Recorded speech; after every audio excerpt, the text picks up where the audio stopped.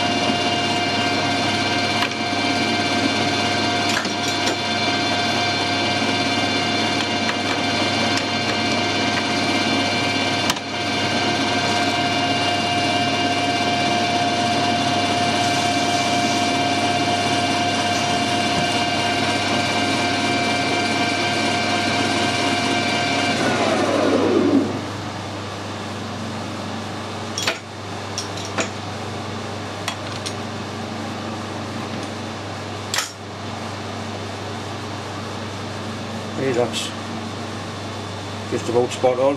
Just a little bit on the tight side, but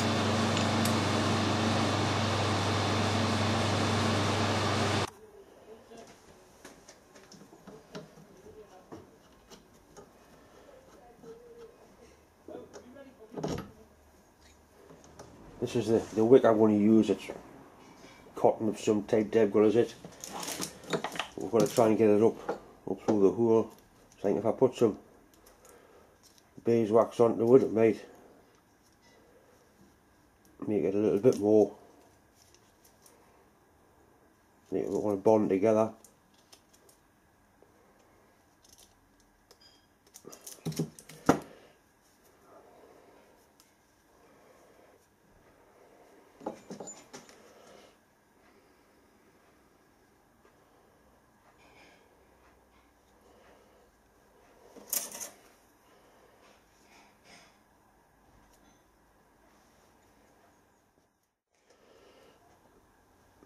Right, this we've definitely got it, there it is.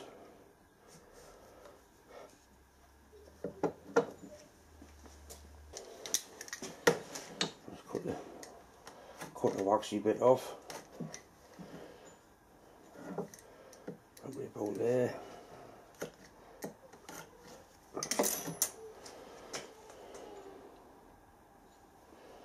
That goes down into the oil reservoir like that. Come on. Right, so it goes down there. It's filled with oil, and the oil, by capillary action, comes up the wick, down through the tube, lubricates the bearing.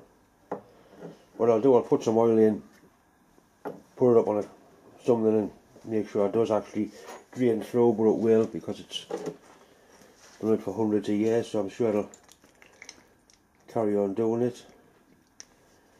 This is ordinary 1040 car engine oil nothing spectacular but I will probably be using the thicker oil when I actually run the engine. Yeah, we'll stand that on there come back you know, and see how much oil's actually dribbled through there. Right, it's been standing for about 10 minutes and you can see the oil's wicked through the bottom where normally if that was just a hole it would have pissed straight through and served no purpose at all. So I'm quite happy with that.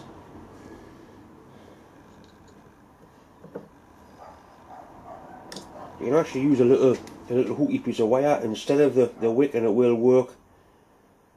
It'll actually capillary action down the, the side of the wire. But I like to use wick like that. It's been an hour and a half since I filled the little oiler up. As you can see it's completely empty now.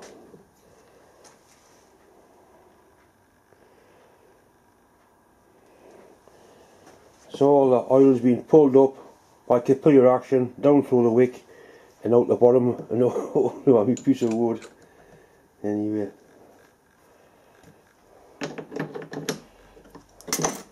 This is actually oak and it's going to form the, the base for the engine when my friend Mick eventually gets out the machine in it for us. We're a little bit of oil slowly won't it that. I've decided I'm not going to paint this, I'm just going to clean it and give it a with probably some linseed oil. So basically now I can wash things off. There's two holes to blank open the crank, then I can assemble the bottom end for real so to speak. People commented about the amount of end play on the crank. This will be sorted out, I'll be thrust washer goes on each end when it's all when it's all set up. But I really do like the look of those, they're quite nice.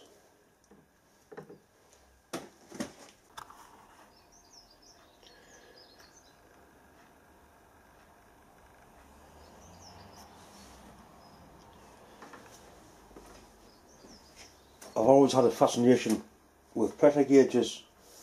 I think it stemmed from when I was a young lad, probably six or seven year old. My dad brought a pressure gauge in from work, and I used to sit and polish it and take the back off and look how it worked.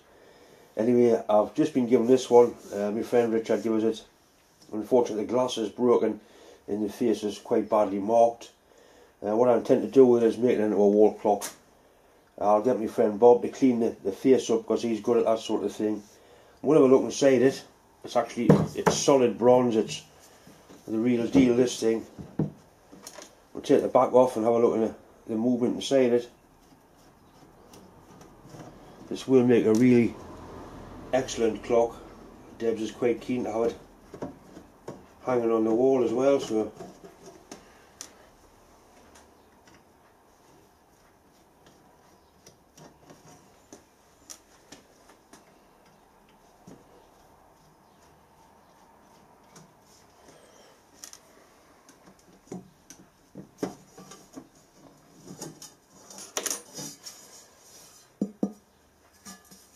mean that back must be 8 to an inch thick.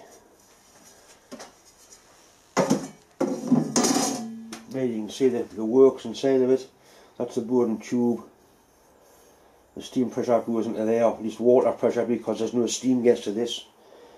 By the time it gets here it's cooled down and it straightens that, tries to straighten that tube out and that's what makes the the gauge works through this little linkage. I think what I'll do is I'll put the the hydraulic pressure test onto it and make it work and I'm sure the sure inside the back to show how it actually how it actually moves and how it actually works.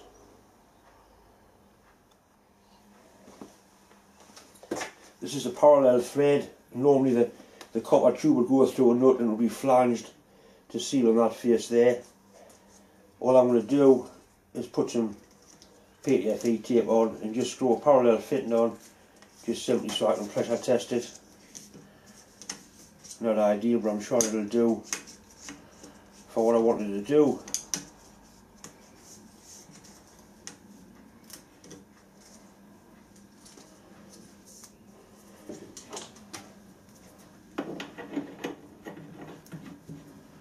I don't particularly like this stuff but it does work.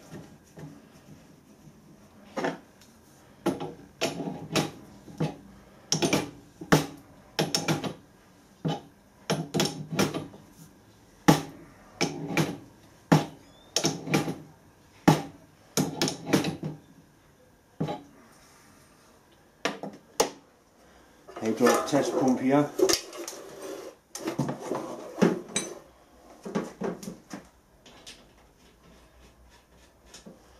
Just pump some water through just so there's no, so there's no air in there. That's water under there.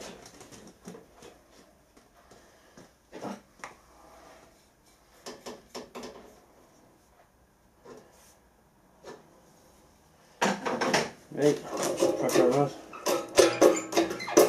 There it goes, that'll let it move for a long time.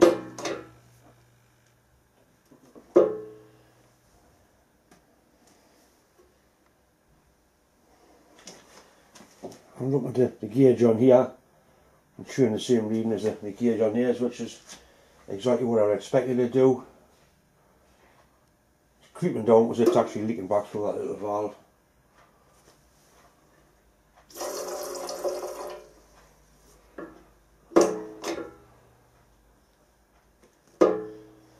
Turn that round so you can I'll turn the gauge round so you can have a look inside and see how it actually actually looks. It's quite interesting.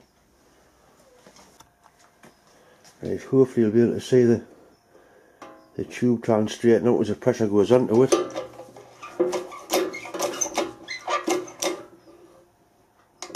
It has moved there.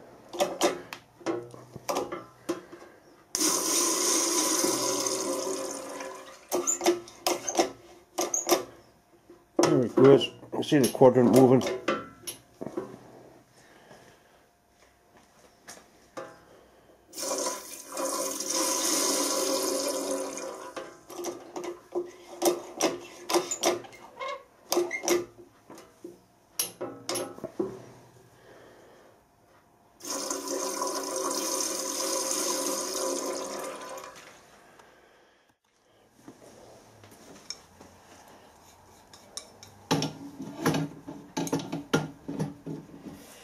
Think that'll be the last time that that gauge ever moves.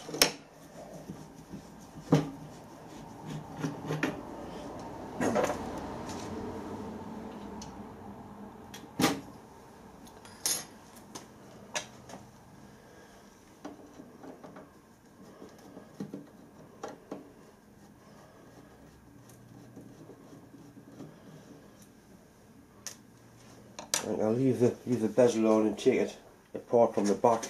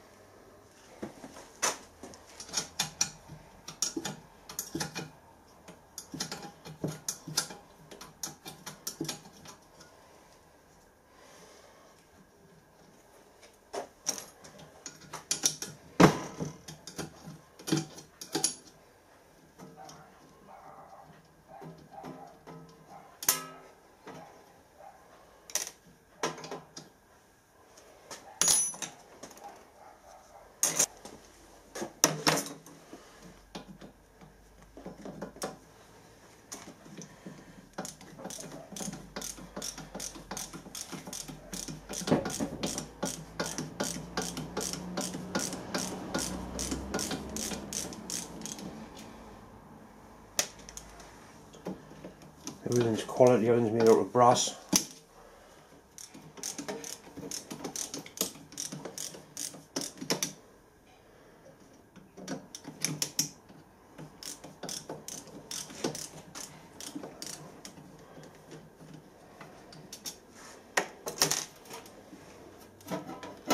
So hopefully this should lift out, that's the obviously the works of it name on there, Hopkinson.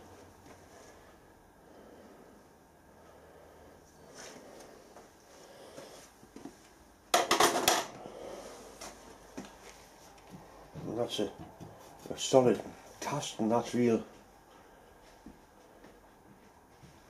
real quality.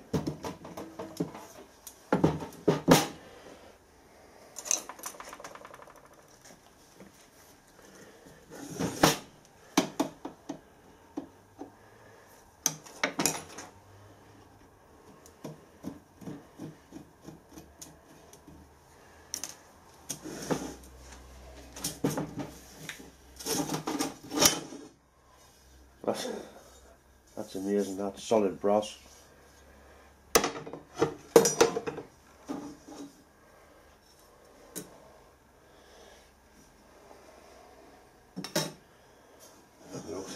Clock face is held in with one one little screw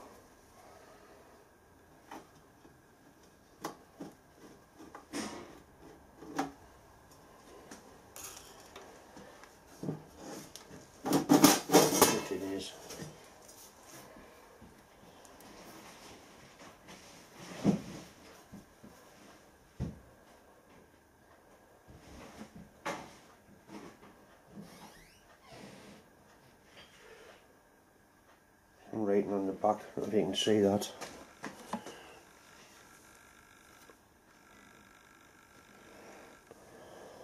Red line at 120 psi, 0 to 300 pounds. It's got BE 1860, that's possibly the date it was made, I don't know.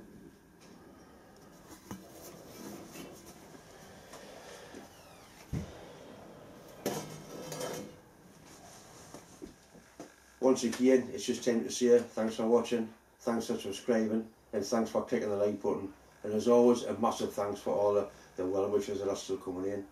Incidentally, on about subscribers, I think I'm about 20 off the 50,000. Uh, 50,000 is quite a quite a landmark in, in YouTube. And only get 100,000, you get a, a big uh, a big button. I know one of the two lads have got them, so it's it's something to strive for, I suppose. But without uh, no viewers like yourselves, I wouldn't have any of this anyway. So thanks very much.